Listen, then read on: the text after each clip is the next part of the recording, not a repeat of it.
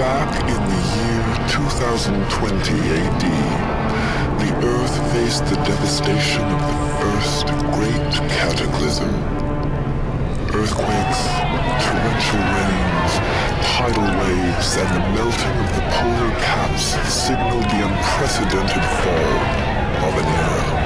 Billions died, and entire species were consumed. The few surviving humans huddled beneath the surface in steel tombs and waited.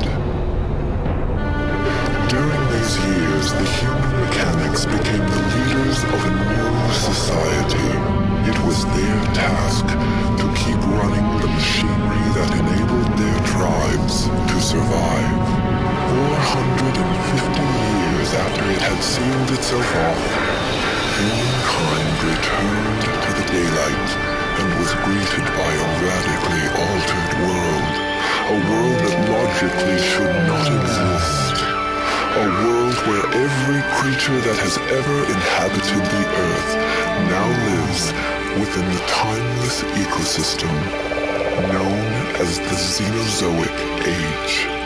Given the chance, would the humans remember the Machinatio Vitae, the machinery of life, to revere the earth and always preserve a balance among its creatures? Or would they revert to their destructive